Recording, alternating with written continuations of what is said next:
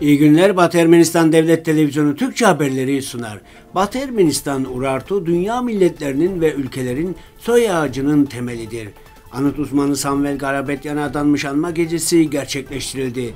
Artah'ın Kızıl Çarşı köyünde 150 ev yapılması planlanıyor. Suriye ordusuna Türk insansız hava araçlarına uyarmadan ateş etme izni verildi. Batı Ermenistan'ın Van Gölü'nde keşfedilen balığa yeni bir isim kondu. Ermenistan Cumhuriyeti Ulusal Futbol Takımı İzlanda'yı Yerevan'dan mağlup etti. Bu harita Ararat Dağı'nı ya da Ermenistan'daki tufandan sonra Nuh ve soyundan gelenlerin tüm dünyaya nasıl dağılıp yaşadığını gösteriyor. Batı Ermenistan topraklarında Urartu, Universal Magazin, Londra, Gravür bir İngiliz okulu tarafından 1749-18. yüzyıl özel koleksiyon Ken Wallace. Bu nedenle Ermenistan yani Batı Ermenistan topraklarında bulunan Urartu dünya milletlerinin soy ağacının temelidir. Soy ağacı muhtemelen İngiltere'deki Londra Müzesi'nde bulunan Londra'da yayımlanan bir dergide yer aldı. Dünya sahnesinde Ermenistan hakkında konuştuğumuzda en önemli gerçek Ermenistan'ın Hristiyanlığı devlet dini olarak ilk benimseyen olmasıdır. Ancak Ermenistan'ın milattan önce 6. yüzyıldaki Babil kil haritasında yer alan üç ülkeden biri olması yani 2600 yıldan fazla bir süredir dünyanın en eski haritasında yerimizi almamız ilginçtir. Makalenin tamamı web sitemizde mevcuttur. Sevgili yurttaşlar ve sevgili soydaşlarımız, 27 Mart'ta Ermenistan Cumhuriyeti Mimarlar Birliği salonunda Samvel Garabetyan'a adanmış bir anma gecesi düzenlendi. Anma gecesi Samvel Garabetyan'ın Ermeni Mimarisi Araştırmaları Vakfı çalışanları olan meslektaşları tarafından düzenlendi. Farklı nesil ve meslek temsilcileri saygıdeğer entelektüele ve onun canlı hafızasına saygıda bulunmak için bir araya geldi. Etkinlik Ermeni Mimarisi Araştırma Vakfı tarafından çekilen bir video gösterisiyle başladı. Filmde popüler entelektüelin hayatı ve faaliyetine ilişkin görüntüler yer aldı. Anma gecesinde 44 günlük Arsa Savaşı'nın kahramanları ve Samvel Garabetyan anısına herkes bir dakikalık saygı duruşunda bulundu. Etkinliğe yazar ve yayıncı Artur Andranikyan ev sahipliği yaptı. Samvel Garabetyan hakkındaki anılarını anlatmak için Ermenistan Cumhuriyeti'nin emektar mimarı Mıgırdiç Minasyan, Ermenistan Cumhuriyeti'nin emektar mimarı Narek Sarkisyan, coğrafyacı ve haritacı Ruben Galçyan, Karin adlı geleneksel şarkı ve dans grubunun kurucusu ve sanat yönetmeni Gagik Ginosyan söz aldı ve vakfın mütevelli heyeti başkanı Amerika Birleşik Devletleri Şubesi Başkanı Jora Manuçaryan bir video mesajı iletti.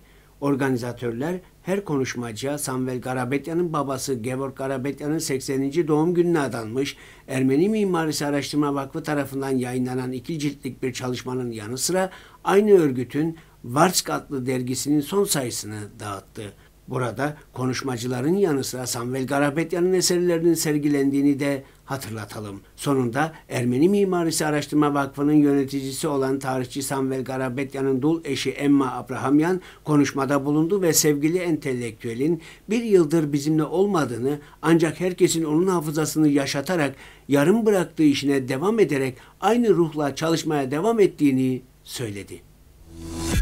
Artsakh Bölgesel İdare ve Altyapı Bakanlığı'ndan NÜSAYM'e verilen bilgiye göre Artsakh Kızıl Çarşı köyünde 150 konut yapılması planlanıyor.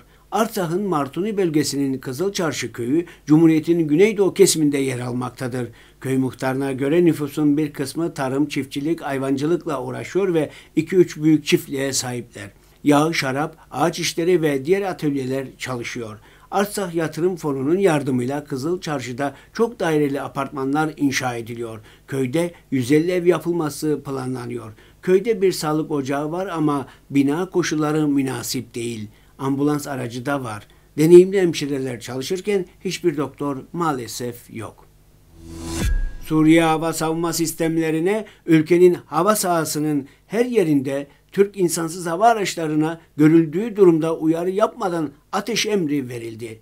Avia Pro adlı haber ajansına göre bu kesin kararın nedeni Suriye Cumhuriyeti'nin kuzey ve kuzeybatısındaki durumun Türk Silahlı Kuvvetleri ve cihatçılar tarafından şiddetlendirilmesi oldu. Türk insansız hava araçları Suriye ve Libya'da oldukça verimli. Suriye ordusuna hizmet veren Rus Buk M2Y hava savunma sistemleri sayesinde Suriye ordusu bugüne kadar Bayraktar İHA'ları dahil olmak üzere Türk insansız hava araçlarını etkili bir şekilde vurmayı başardı. Dünyanın en büyük sodalı gölü olan Batı Ermenistan'ın Van Gölü'nde inci kefalı balığı dışında yaşayabilen yeni bir tür balığa Van Gölü Küçük Mercan ismi verildi. 2018 yılında Van Gölü'nde yaklaşık 13 metreyi geçen bir mikrobiyalit üzerinde yaşayan 5-6 santimetre boyunda yeni bir balık türüne rastlanmıştı. Yaklaşık 3 yıl önce keşfedilen ve üzerinde birçok bilimsel araştırmalar yapılan balık hakkında Van'ın Merkez Ardamet Edremit ilçesindeki jandarma sosyal tesisinde bir program düzenlendi. Yeni keşfedilen balığın tanıtımı yapıldı. Ermenistan Cumhuriyeti Ulusal Futbol Takımı Dünya Kupası eleme maçlarına ilk kez arka arkaya iki galibiyetle başladı. FIFA Dünya Kupası resmi Twitter sayfası İzlanda takımına karşı 2-0 galibiyetinin ardından İspanyol Joaquin Caparros liderliğindeki Ermenistan Cumhuriyeti Ulusal Futbol takımının fotoğrafını yayınlayarak ekibin bu başarısı hakkında yorumda bulundu. İlk maçta Ermenistan Cumhuriyeti Ulusal Futbol takımının Vaduz'da Liechtenstein takımını 1-0 mağlup ettiğini hatırlatalım. Bugün için bu kadarını öngördük. Şimdi size Dağran adlı topluluk tarafından seslendirilen Ermeni halk şarkısı Vıznotud Yesem Nakşel adlı eseri sunuyoruz.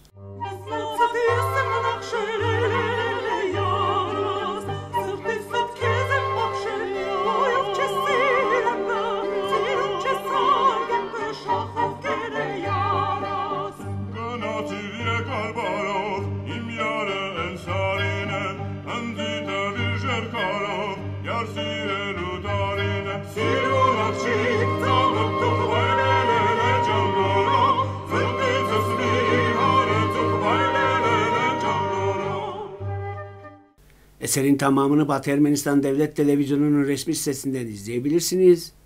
Hoşçakalın.